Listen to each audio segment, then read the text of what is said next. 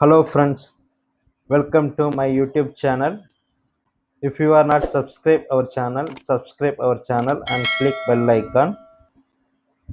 Today we see unused master deletion. This add-on helps to delete unused ledger and stock item master. We go tally, get of tally. We enable customization F11 add-on feature. Enable unused delete stock item. Yes. Enable unused deleted ledger. Yes. Then save it. Then go to of tally. It will show two menu.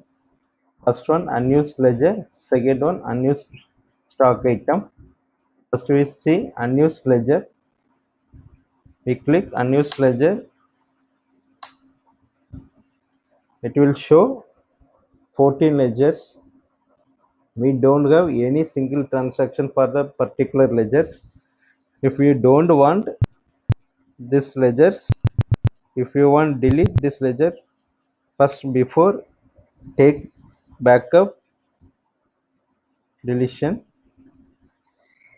Otherwise, you will delete ledger, then you will not taken that ledger details. If you want backup, you will take first backup, then you can delete.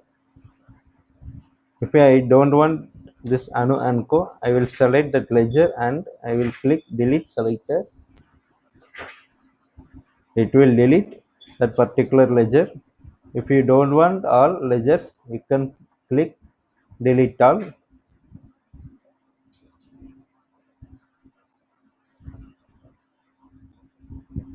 It will delete all ledgers. Then you will see nothing available in ledgers. Then go to unused stock item. Which stock item you don't want in this company. You can select that pleasure Delete.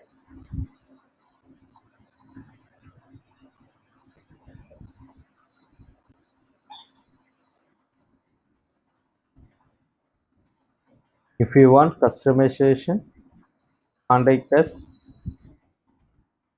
Thank you for watching our channel.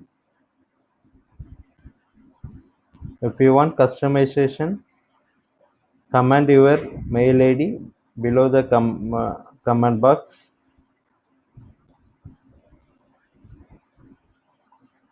Thank you for watching our channel. Thank you, guys.